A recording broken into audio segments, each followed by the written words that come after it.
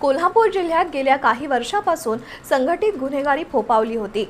नागरिकांना सुरक्षित आणि भयमुक्त वातावरण प्राप्त करून देण्याच्या उद्देशानं या संघटित गुन्हेगारीचा खात्मा करण्यासाठी पोलीस दल सज्ज झालं. संघटित गुन्हेगारीला आम्ही सर्वच पोलिसांनी संघटितपणे प्रयत्न करून त्यांच्या मुसक्या आवळल्या. त्यामुळेच गुन्हेगारी मुक्त कोल्हापूर करण्यात यश आल्याचं पोलीस अधीक्षक डॉक्टर अभिनव देशमुख यांनी सांगितलं. शांतताप्रिय कोल्हापूर जिल्ह्यात गेल्या काही वर्षात गुन्हेगारी टोळ्या संघटितपणे कार्यरत झाल्या. खंडणी मारामारी हप्ता वसुली खून दरोडे यासारखे गुन्हे संघटितपणे करणाऱ्यांच्या मुसक्या आवळण्याचा निर्णय पोलीस अधीक्षक डॉक्टर अभिनव देशमुख यांनी घेतला होता. त्याला जिल्ह्यातील सर्वच पोलिसांनी सहकार्य केलं. या गुन्हेगारांची पाळंमुळं खणून काढत खोलवर तपास केला. त्यामुळंच मोकासारख्या विशेष कारवाई अंतर्गत गुन्हेगारीला चाप बसवण्यात पोलीस दलाला यश आल्यानं समाधानी असल्याचं पोलीस अधीक्षक डॉक्टर अभिनव देशमुख यांनी सांगितलं. तिने आम्ही मला असं म्हणे की आमची पण संघ चांगला होता.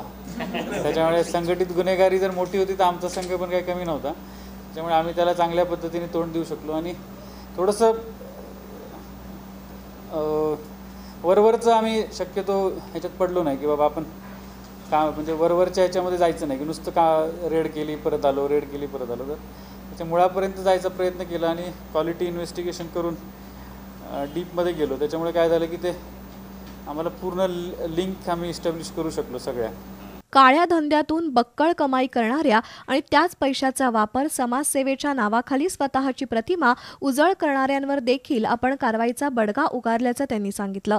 पत्रकार परिषदेला अप्पर पोलीस अधीक्षक तिरुपती काकडे पोलीस निरीक्षक तानाजी सावंत उपस्थित होते.